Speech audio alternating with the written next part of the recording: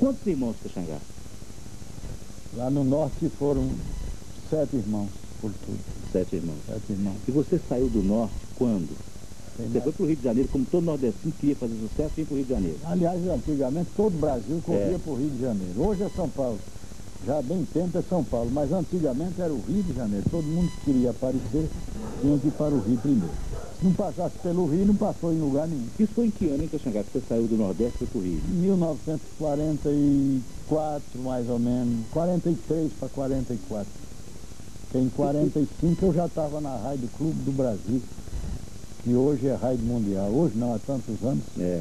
foi da Hoje, morte. hoje é. CBN, né? Hoje É, é, hoje para CBN. CBN, é. Mudaram tanto nome, foi. Quer dizer que você veio em 45. 45. Veio com alguém, Caxangá? Desceu do Nordeste com mais alguém que... É, com meu irmão, que já é falecido, já faleceu, ele trabalhava na Marinha, né, na época, Uhum. e, me trouxe para o Rio. Você já veio para o Rio, já tentando a carreira artística ou trabalhou em alguma coisa? Eu- Antes de ser artista, você pensa que você trabalhou... Na enxada Na do meu pai, ajudava ele, né, trabalhando no, no interior, limpando beco de café para os fazendeiros, etc. E quando não trabalhava na rocinha do meu pai. Todo artista teve um ídolo. E eu quero saber do Caxangá. Caxangá, quem foi seu ídolo? Naquele tempo do Nordeste, de garoto ainda. Meu ídolo, sem dúvida nenhuma e sem favor nenhum, esse que é um, pat- um patrimônio do norte brasileiro, que é o Luiz Gonzaga, nosso saudoso Luiz Gonzaga. Agora, antes do Luiz, teve um sanfoneiro que eu admirei muito lá no norte, lá em Pernambuco, ele não era assim um nome radiofônico, não, tocava nas festas e tudo, mas era um monstro para tocar, chamava-se Zé Tatu, Zé Tatu. Zé Tatu. Zé Tatu Primeira, acordeonista que eu conheci de primeira, de primeira água mesmo. Depois veio o Luiz. E Luiz, quando eu fui ouvi-lo no rádio, etc., depois acabou. Daí para frente, você nasceu em que ano? tornou-se meu ídolo total. Você nasceu em que ano? 6 de setembro de 1925. 25. Uhum. Você, você- já menino, você já começou a conhecer o rádio. É, praticamente o rádio cresceu junto comigo, né? É E junto com o rádio, a verdade é essa. Essa já, é a grande verdade. já fiz meus 50 anos de rádio. Beleza. Caxangá, Manezinho Araújo.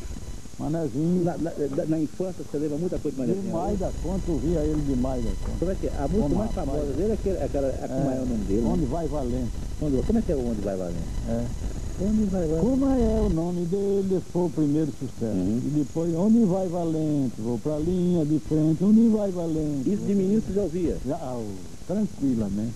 E o Luiz Gonzaga do Nordeste, o que, que você ouvia assim que já te encantava? E Gonzaga, o maior sucesso. dele, né? primeiras coisas cortando o pano, pro alfaiate do primeiro O ano. que, que você lembra do Luiz Gonzaga pra gente?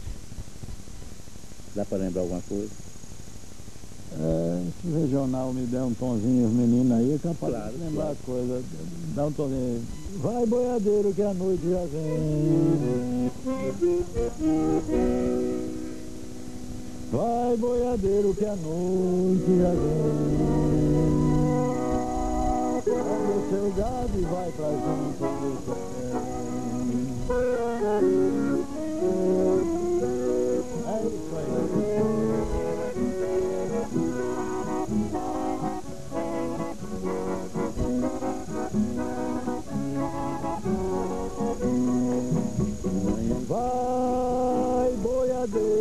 a noite já vem. Leve o seu gado e vai pensando no seu bem. De manhãzinha, quando eu saio pra boiar, a fiarada vai todinha me esperar. É dez filhos, muito pouco, é quase nada. Mas não tem outros mais bonitos no lugar. Vai, boiadeiro, que a tarde já vem. Leve o seu gado e vai pensando no seu bem. Oh, oh, oh, oh, oh.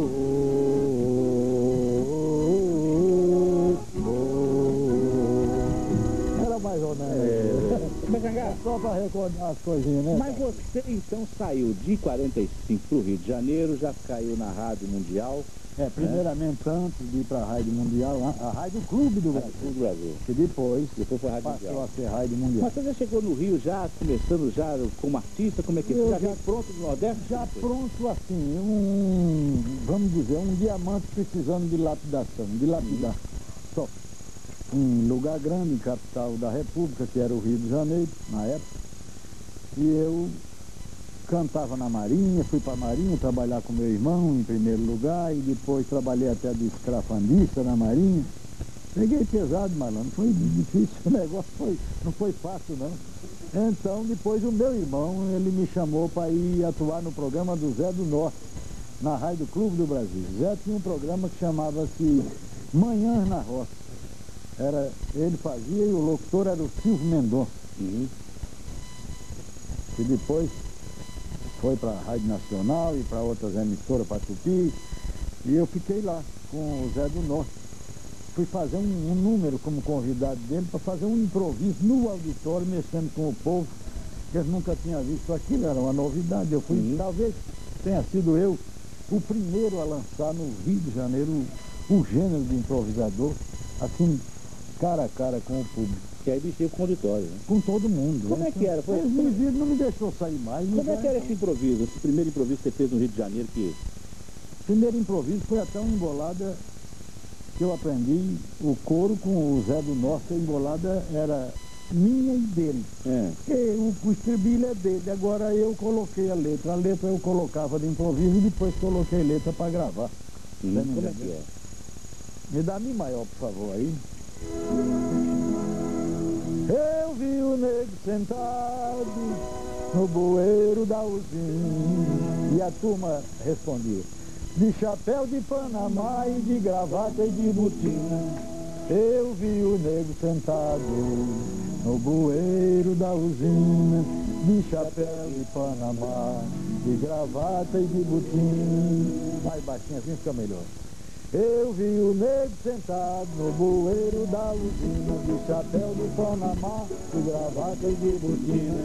Vi o negro sentado no bueiro da usina, foi de chapéu de Panamá. De gravata e de botina, Eu vi o negro sentado, bueiro da usina. foi de chapéu de Panamá. De gravata e de botina. Eu vou cantar de improviso com toda dedicação. Eu vou falei nesse programa com maior convicção. Cantei pro Zé do Norte, que foi certo meu patrão. Foi quem me lançou no rádio com muito boa vontade. Eu com propriedade trovava com precisão. Fazia tudo na hora. Olha ali um cachorrão. Quem quiser preste atenção. Se eu tenho a ideia fina, eu vi o negro sentado. No bueiro da usina. Foi de chapéu de Panamá. De gravata e de botina. Meu amigo Cirantão tá me dando essa entrevista. Caxangá é um que não perde a tradição. Vim lá de Pernambuco, vim cantar pra profissão. Até hoje estou cantando de canequinha na mão. Acredite, meu patrão, mas eu tenho ideia fina. É coisa que Deus me deu. Caxangá raciocina e eu vi o meu da usina. Foi de chapéu de Panamá. De gravata e de botina. Tô vendo o cameraman está ali me controlando e o caxanga improvisando. Não fala mal de ninguém, agora eu vou mais além. É coisa que adianta nossa grande jornalista, que é a Lúcia Casa Santa. Uma grande repórter na frente do Caxangá. Está aqui a Tirantão, outro artista popular. Ele sabe apresentar. Casa-me batido, pois não é o Caxangá que fala tudo de improviso. Deus me deu um juízo pra ver se nós dois combina. Vi o nego sentado, No bueiro da usina. foi de chapéu de Panamá. De gravata e de botina. Tô vendo o violonista com uma boa dicção, está ali tocando certo com a sua profissão. Tô vendo meu amigo com o microfone na mão, olhando pro Caxangá, tá rindo aqui feito um cão. Pois olhe meu patrão, Caxangá velho combina, é homem que improvisa nessa terra de Minas. Eu vi o nego sentado, No bueiro da usina. foi de chapéu de Panamá. De gravata e de botina. Esse aí do cavaquinho é coisa que aconteceu, ele é grande demais, o cavaquinho é como eu, é bem pequenininho na frente do caxangá. Viva eu e o cavaco e o dono para completar. Tô vendo outro amigo que está ali com uma sanfona, caxanga, velho. Olha o Cícero onde tá. Este é o grande Cícero, que é danado de bom. Nasceu pro acordeon e eu pai improvisar. Esse aqui nasceu pro bombo, vocês toda improvisando. E ele acompanhando as trovas do caxangá, batendo daqui pra lá, ou então daqui pra aí. Vamos nós dois divertir e sem se mexer do lugar. O surdo nobre que ele está me acompanhando, eu estou lhe agradecendo e o outro me observando. O grande pandeirista que está aqui me acompanhando, está aqui com um bigode que Caxangá está olhando, também observando. Não tem esse nem aquele, gostei do bigode dele, vocês podem acreditar. O improviso e ele está de calça preta, é mais de mil piruletas que eu faço pra embolar. E o Caxangá, na minha casa no duelo, me pegaram de chinelo e nem deu tempo pra calçar. Eu vou discriminar e pra ver se a coisa combina, eu vi o nego sentado no bueiro da usina. Foi de chapéu de Panamá e de gravata de. Vamos ali para a varanda pra mexer com o pessoal. Estou vendo a Isabela, caçula do Caxangá, tá aí me apreciando num pé do caminho, ao lado do Fernandinho que não quis se apresentar. Fernando, venha cá, acredite quem quiser, pois senta mais depressa perto da minha mulher, perto da minha esposa, olha ela onde está.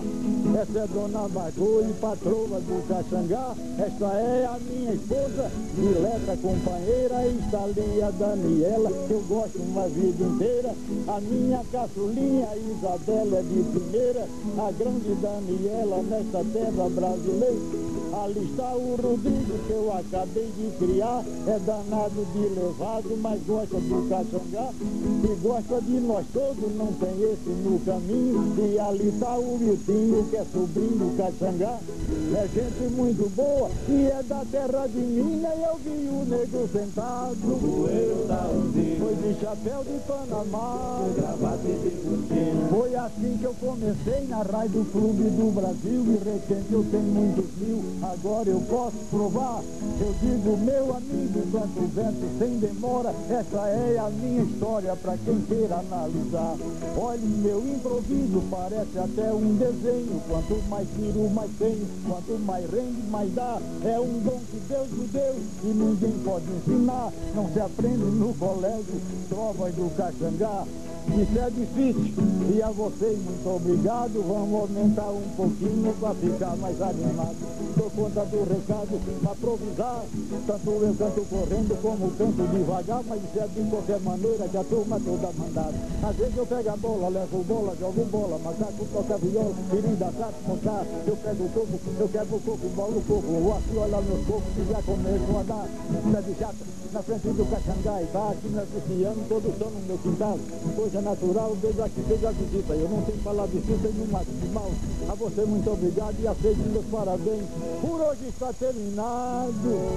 E até o ano que vem. O ano que vem, beleza. Volta aqui no meu quintal. Daqui a pouco nós voltamos a conversar com Caxangá.